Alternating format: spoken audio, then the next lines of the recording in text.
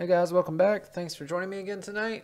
Uh, this one is actually going to be part two of my SheleeArt Bloom tester one. Yeah. So this one is the first one I'm doing right here is everything needed or everything that I use when it comes to a SheleeArt Bloom, like using the ultra deep base, the varnish in my paint, and all that other science project stuff, you know. So tree leaf green, purple, some gold, and black cell activator. I did take out it, me blowing out the cell activator. Um, basically with this one, what I wanted to do is just do a side-by-side -side comparison with colors, same colors, just one with acrylic and one with Shelee's bloom ingredient. So I'll get you down for a quicker look here in just a second.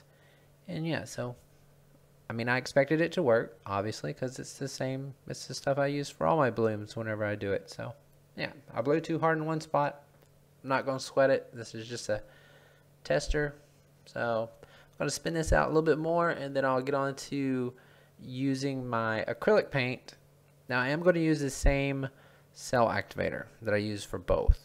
Um, so, I mean, it is Australian Floetrol, and I do know that it does have that sell up properties to it, I guess is what you'd say. So maybe it's just Australian Floetrol, but you know, this is a cheaper route of doing blooms, in my opinion. Uh, my base paint is actually the paint that I normally do for my uh, Dutch pours.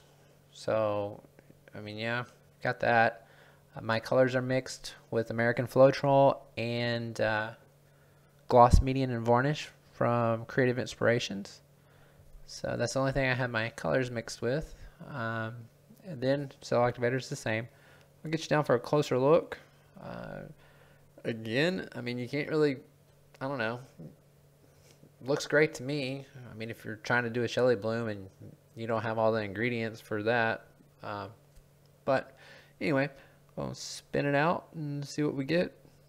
I know a lot of people have been having problems getting an ultra deep base and everything like that. So I mean, if you have Australian Floetrol, I mean, you can still at least do that. So here's a closer look of that one after I spun it out.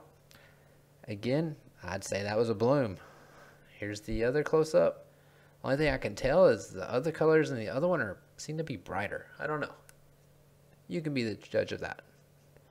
Um, and with the one with the acrylic paint, the cells seem to be thicker. So here's some of the ones that I've done with acrylic paint that are dried.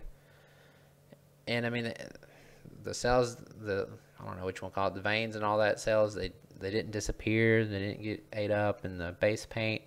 Again, here's another one that I did. Uh, it's pretty much dry now, but I I mean, in this one, disregard the paint chips just because got carried away, scraping off towel.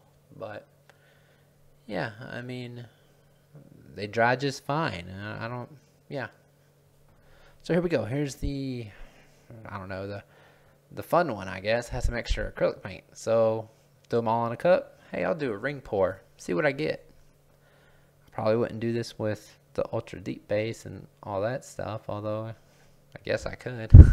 but, um, anyway, using the black cell activator, gonna take that out. Here's your close up.